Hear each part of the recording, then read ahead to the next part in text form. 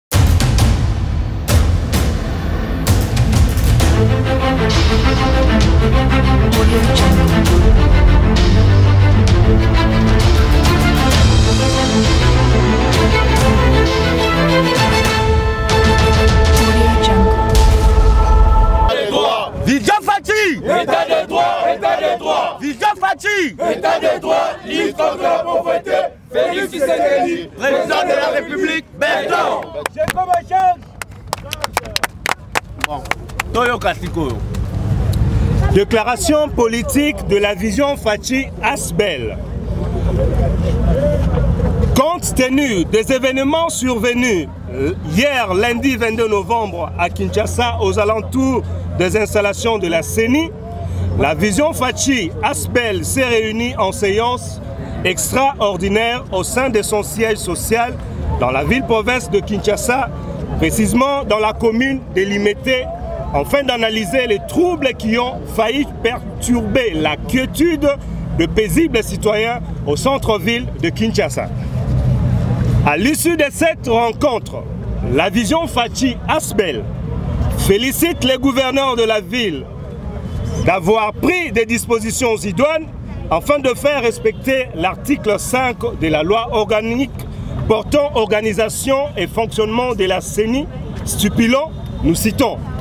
le siège de la CENI et ses bureaux de représentation provinciale et locale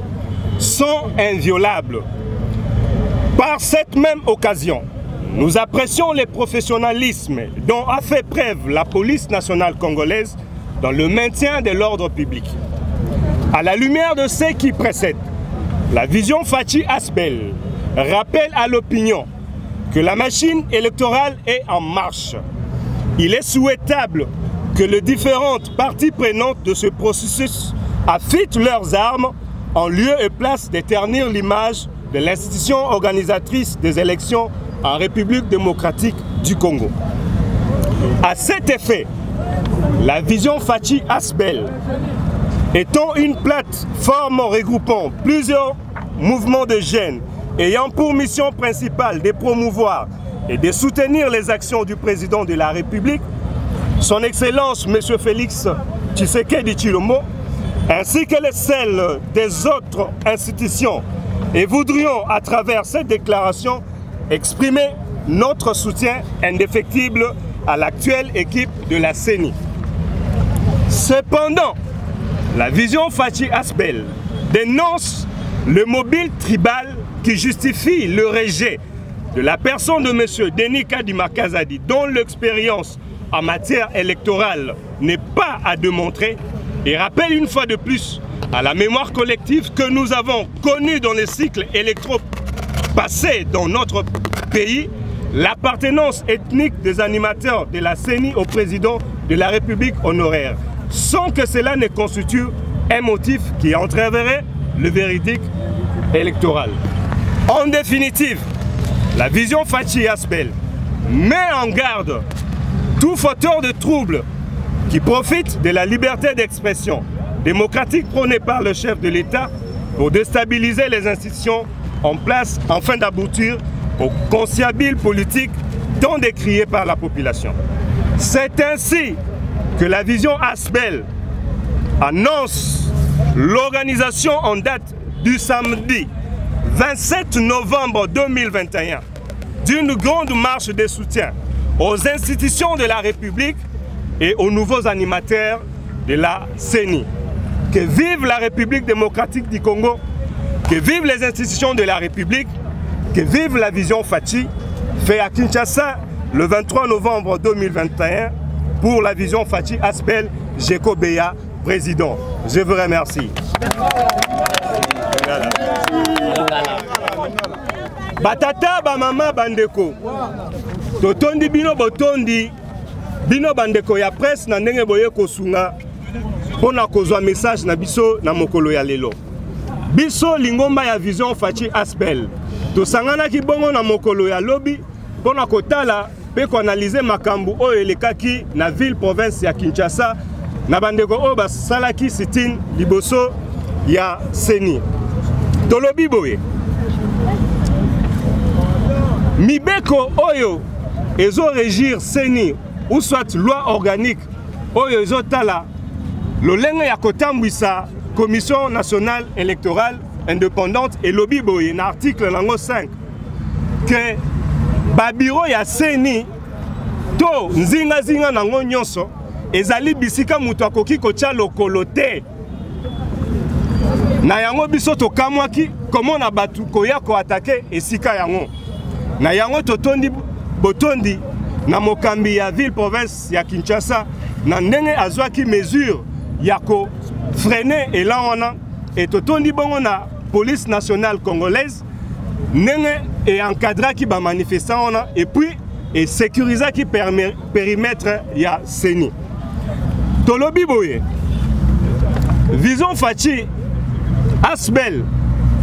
na ndenge tosanganaki tolobi makambo ya koyokana mpo na kozwa bokonzi eza lisusu te eza na mutu moko te oyo lelo akotelema koboya Denis Kadima na ndenge ya mayele mpe bwanya na experience azali nango na lolenge ya kokamba milulu ya, kopona, ya maponami na kati ya Afrique mutu moko te azali na moma oyo akoki kotelemela ye me baoyo bazotelemela ye bazali bongo kokende koluka baraison moko tribal oyo biso tolobi ezali makambo ya kosoutenir ata moke te mwana mboka denis kadima azali na expérience avere na matière électorale na afrique eyebani tolobi mpe boye kaka na mboka na biso eleki 10 ans te tozalaki bongo na bakambi ya cellule ou soit ya commission électorale nationale indépendante oyo bazalaki bato ya mboka moko ou soit ya contrée moko na mokonzi ya mboka honoraire tolobi bongo ke ezali raison te ya koboya kadima parce que na mboka na biso tosi tomona mpe bakambi ya seni oyo bazalaki ya région moko na mokonzi ya mboka na yango tolobi boye baoyo nyonso bazali prete mpo na kokende maponami makambo ya koyokana ezali te biso tolobi tozokende election na seni na yango tolobi boye mokolo ya le 27 samedi oyo biso tokotelema lokola badefenseur lokola lisu ya mokonzi ya mboka tokozala bongo na nzela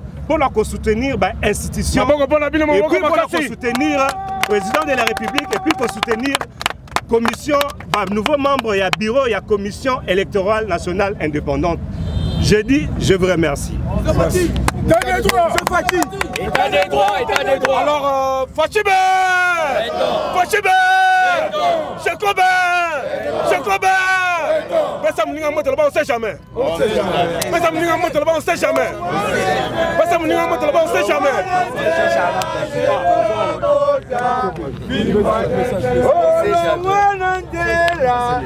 alors euh, président cheko ozali en direct bazolanda yo mais na minute oyo population nyonso eza kotala makambo eleki lobi na seni parce que ngai naza liso ya mokonzi nazwaki moto namoni bacivique balingi baafronte meme place ya maponami yo en tant régime ya information lorsque tozali besoin ya komanifeste ntango okomeli bakonzi ya mboka oyesi bango naza besoin na manifeste bakoyebisa yo bacondition oyo ezali il faut o rappeler mpona komanifeste me bandeko balingi kosala yango te voilà pourquoi lobi tomoni ke ezalaki mpe échec parce que mobilisation wana eza yango te peuple asa yebisi bango 2023 yango oyo ezali kokosana mpe élection yango oyo biso moko tozalaki beze tosala sitting talaka mobilisation ndenge ezalaki bandeko mosusu deja basi bazalaki deja na gare centrale parce que bautaki korépondre biso lobi na pokwa ke moyen bosala manifestation ezali te tala biso bana mayele nde omoni moyen ya kosala ikeike na bakonzi ya mboka ezali te yango tondimi ya koya kosala soutien na biso ata déclaration na biso je crois ke bakonzi ya mboka bakolanda yango bayebi ke ezali na lingomba moko ezali na bato moko oyo basangani parce que bazali besoin basoutenir président ya seni ndeko kadima oyo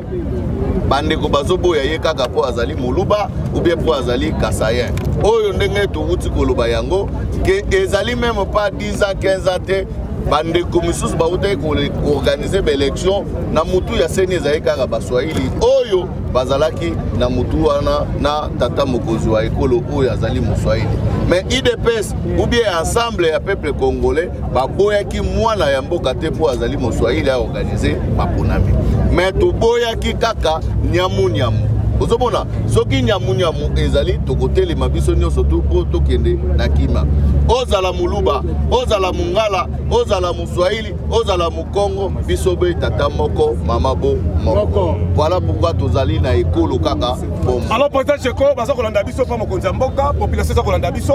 motuna moko eza yambo na population soki etala biso na etandi ya ya province aujourd'hui mon chef de l'état tie ndeko kadima na tête tomoni bandeko na biso soitikalamukaezali baconfession religieuse bango nde motu bazali habilité parce que bapesi bango topesi yango na société civile société civile bazalaka 8 na ndenge basanganaka mpo bapona nde na kopona baponaki ezalaki bake baponi 6 baponi kadima mibale bakwei baponi motu na bango na majorité ezali loi ya eh, na, na, na, na démocratie ezali loi ya majorité majorité etriomphe eponi ndeko kadima mibale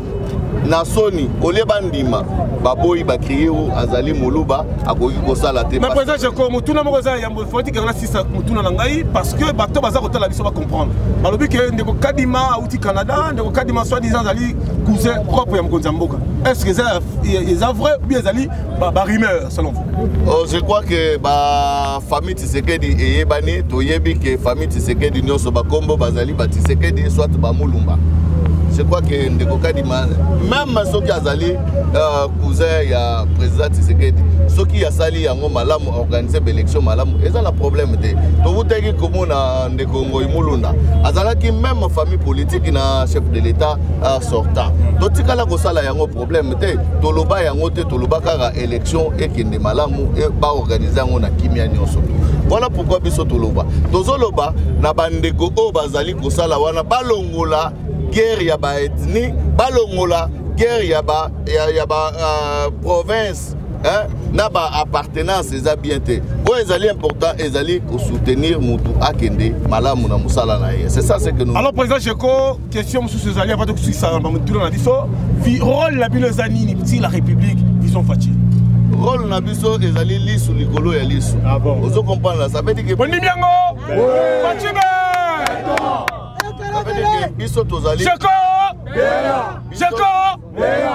biso tozali nopa mpo na kosenga mosala na chef de l'etat tosenga eloko moko epa chef de l'etat te biso tozali wana comme bagarde du pouvoir toza wana mpo na koprotege pouvoir tosi toyebisaki bandeko oyo bazolala ke parti politique ezalaka na deux objectifs premier objectif ezali koconquérir pouvoir tosi tobundi tozwi pouvoir mais deuxième objectif ezali koprotege yango le plus longtemps possible tokoprotege yango ndenge nini soki bandeko balali voilà pourquoi na profite na micro na yo mpo na kolanse na bandeko oyo baza na ndako oyo baza nano na kolala ke ngonga deja esi ebetaki mpo na koprotege pouvoir na biso tosi tokoti na deuxième phase soki bango baza kidiba biso toza ya kotelema mpo na koprotege pouvoir na biso ce soir euh, lelo na tongo na la voix d'amérique sur makambo oyo bacode minier olandi déjà même comité international même baradio international bazolobela déjà mpona barestation badétournement ya babien public vous en tant que leader d'opinion en tant que la jeunesse sacrifié qu'est-ce que tu vas dire état de droit ta marche ouais, ouais, non non ça veut dire que mboka na biso eza lisusu ndenge ezalaka kala te ebele ya bato bazozela nano mboka echange mpo ya lia thomson ou bien alia soso or ke mboka etongamaka na soso te obe mboka esedevelopaka te na, na, na fufu amona fufu ekiti lipa ekiti non mboka edevelopaka na état de droit nde omoni différence ya biso na ba bato oyo bazalaki liboso lelo omoni mokili mobimba bazobeta lisolo ya gestion ya président félix lelo mokili mobimba bakomi kobeta solo ya état de droit voilà pourquoi même bato oyo bainvestisseur ba bakomi fier mpo na koya na mboka na biso parce que bayebi ke lelo garantie ezali lelo ministre azotambola lisusu te ou bien azosakana lisusu te na mbongo ya leta ndenge bazalaki kosala yango kala voilà pourquoi tolobi état de droit ezali ezali réalité baoyo baokanisaka ezali slogan etali bango décembre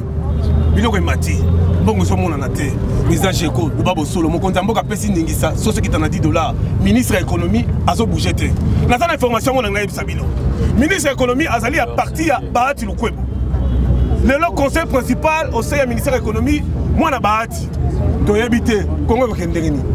non non je crois que makambo ya ministre ya économie tosolobaki yango ye moko asalobaki déjà ke akendaki déjà kosomba biloko bazoluka moyen basomba biloko mpo baya nango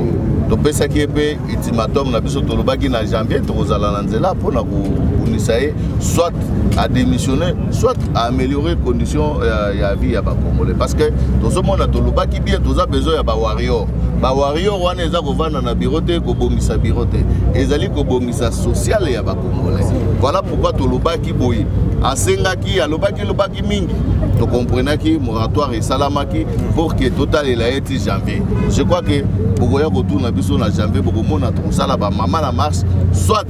abongisi biloko wana soit adémissionne atikeli warrior mosusu oyo akoki kosala le 27 eh, oh, oh, bali ndeko jeko okolata ndenge nini okolata zambala okotambola makolo obe ndenge nini alors ezalaki euh, mwana mboka seni biro ya sika ya seni na yango tokomelaki gouverneur lettre ya information atangaki ayebisaki biso moyen ezali te pourkoi lobi na moto pourkoi parce que conformément ya loi organique euh, organisa euh, la ceni c'est-à-dire ya ya seni donc laquelle biso tant que bana ya malamu toboyi kosala rapport de force na baautorité urbaine et tondimi